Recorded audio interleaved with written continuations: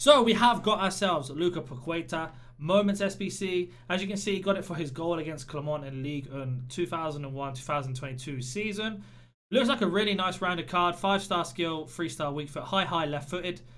Good acceleration, sprint speed, good attack position and finishing, shot power. In terms of dribbling and ball control and composure, really good. Strength stamps, like a really nice rounded card. The reason why his defending stats are so low, as you can see there, is because of his headering accuracy and his, his slide tackle, sorry. Terms of trait, just outside the foot shot. And let's see what, how many days it's there for. So it is there for 12 days. And here are the requirements. So you need one Brazilian, one team of the week, 84 rated, 60 chem. You get yourself a premium mixed players pack back. One League One player, team of the week, 85 rated, 55k. You get a prime mixed players pack back as well. Was a premium one, sorry, that one. And an 86 overall, 50 chem. And it's a rare mixed players pack. So it's a little bit expensive, but if you consider it's there for 12 days, it's not really a bad card to have. You could definitely craft it with upgrades. We are going to go now compare them to some of the other SBCs that have come out in that league and we'll be right back. So, with the first card, we have got ourselves Verratti Rule Breaker, who was an SBC. As you can see, had medium high, 4 star, 4 star, much better in terms of defensiveness and having the 4 star, 4 star with the better work rates in terms of defensiveness. But if we were to compare him, as you can see, Paqueta is much faster, much better at finishing. Not as good as passing in terms of free kick accuracy and crossing, but in terms of long shot, uh, long pass and short pass, he's very, very good compared to that. This is where it gets interesting because you can see the balance and just overall dribbleness. Verratti is much better in that, and the same for the defensive awareness and slide tackle and stand tackle. So it depends what you want Paqueta. I think Paqueta is more leaning towards more leaning towards the attacking position more than defensive. Definitely a box to box in a 4 4 2.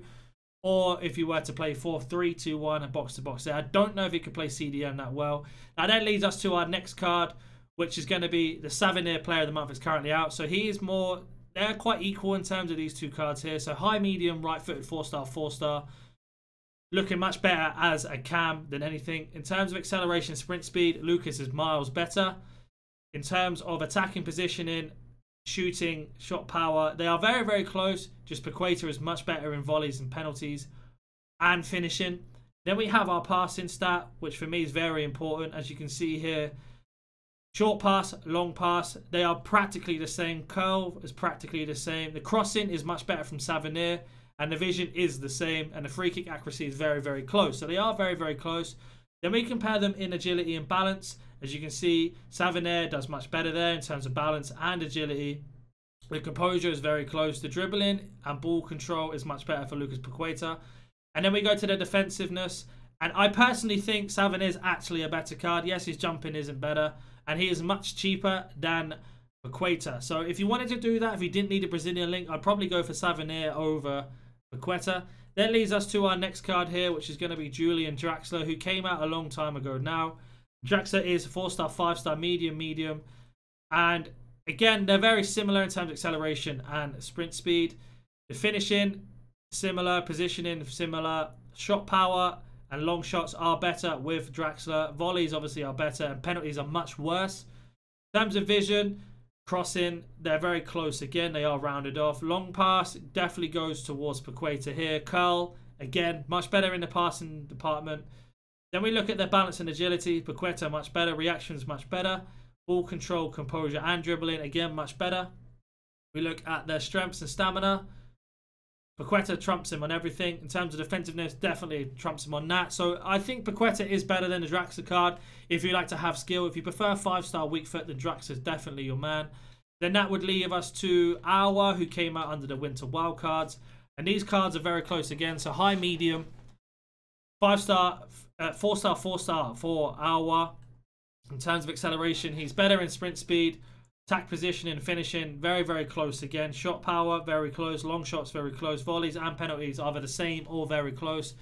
Vision and crossing, very, very similar. Free kick accuracy is towards Paqueta, but short pass is much better with Aouar, but then long pass is much better with Paqueta. The curl is very similar again. Agility and balance, basically spot on. Reaction is very close. Composure is much better with Paqueta, but then they are very similar in that aspect. Defensiveness, practically the same, and the same for the jumping.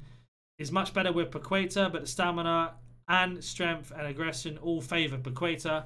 Depends who you want him to link to. Obviously, Aouar being a very, very good card from the same team. And then we have our objective card, Andre, who's more of a CDM, high, high, three star, three star, 86 rated. We look here. Obviously, faster, much better at shooting. We're going to ignore that because there's no comparison there. In terms of passing, it wasn't for Andre's uh, free kick accuracy, his passing would be much higher. But as you can see, the short pass and long pass are miles better with Paqueta. The vision and crossing, crossing quite similar, vision much better. Agility and balance, dribbling, composure, miles better with Lucas Paqueta. And this is where it gets interesting because Andre is way better in terms of defending, with his interceptions being much higher, his headering accuracy, defensive awareness, stand tackle, close in terms of that, but stand tackle obviously 10 ahead and 10 and 11 ahead in slide tackle. The stamina is better, his jumping's better, his strength's better, and his aggression is better. So if you wanted a CDM and you've done this card in terms of objectives, I keep Andre. If you have got yourself a Cam, then them two are very similar. I don't think they replace anyone. And if you don't have anyone, Tavernier is, in my opinion, a much better choice. I think Paqueta's good. I think he'd be good to grind, but you'll have to let me know if you're going to be completing him in the comments down below. If you are new to the channel, should hit the subscription button, turn on notification bell, and I'll catch you in the next one.